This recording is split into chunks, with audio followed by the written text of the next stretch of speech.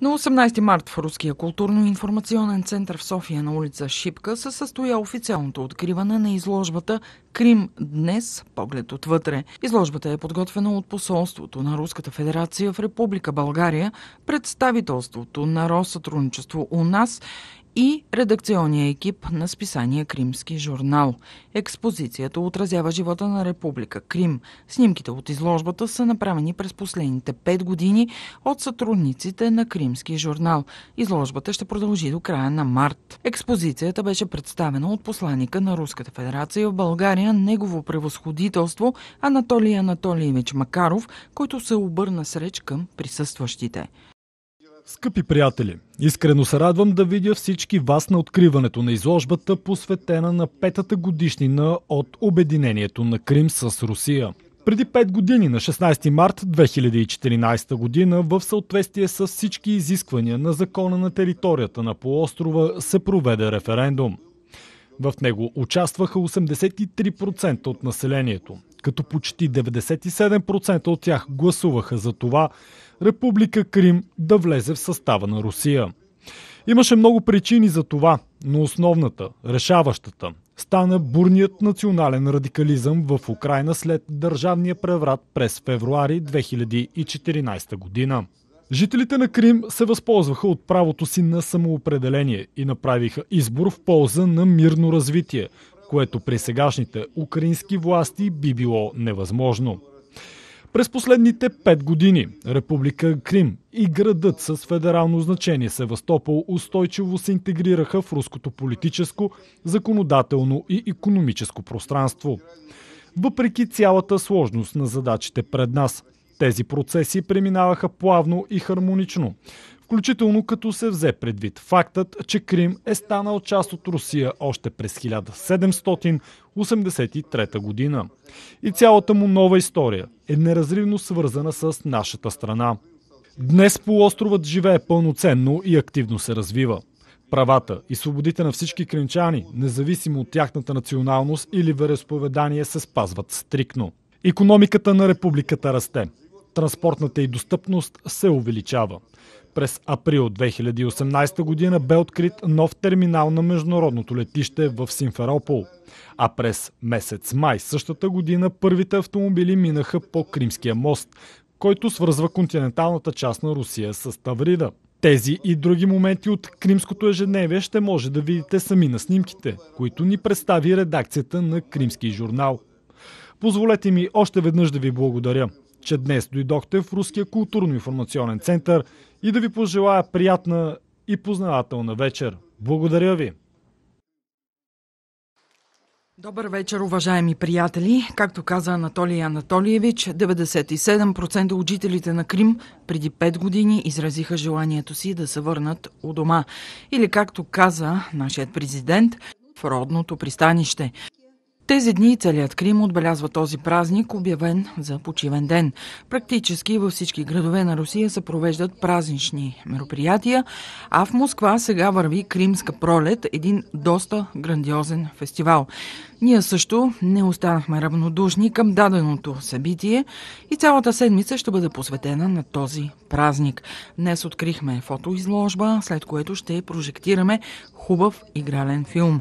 Много се радвам, че сте с нас днес. Каним ви на всички наши мероприятия, които предстоят тази седмица и в следващите дни. Благодаря ви, че дойдохте.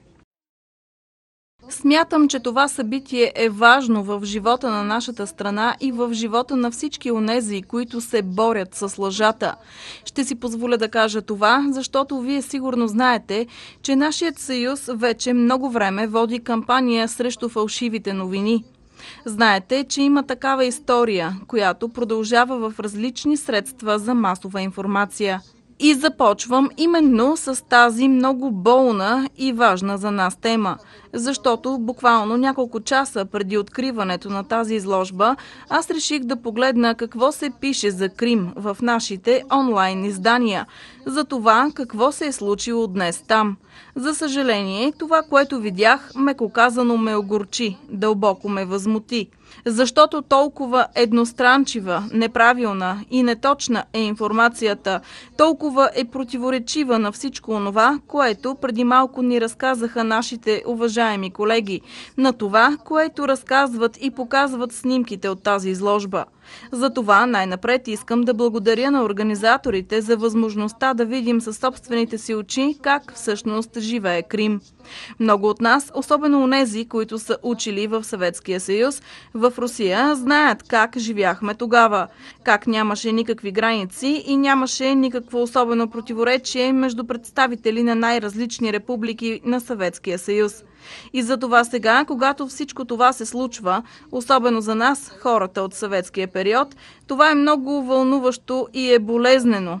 За това много ми се иска моите колеги журналисти, които сега присъстват тук, да разкажат за изложбата. Между другото, много от тях са били в Крим и написаха, разказаха на страниците на българските вестници за него.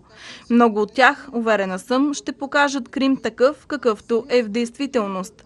Защото това, че Крим се завърна в родното си пристанище, ние, разбира се, знаем. Ние помним и знаем разказите на великите руски класици за онези героични битки на руската армия.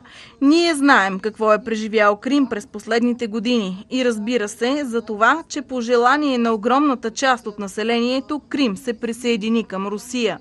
Това е много голяма победа. Това е урок за всички нас, за това как може и как трябва да се защитават свои. Пожелавам успех на изложбата и се надявам много, че истината за всичко случващо се в Русия и в Крим все повече ще доминира в нашите издания. Най-малкото мога да гарантирам за това, което ще напишат колегите ни на сайта на Съюза на българските журналисти. И разбира се, присъстващите тук журналисти. Ще се радвам тази изложба да бъде видяна и в други градове на България. До нови срещи! След откриването на изложбата в голямата зала на Руския културно-информационен център се състоя премиерна за България прожекция на новия руски игрален филм «Кримски мост. Направено с любов».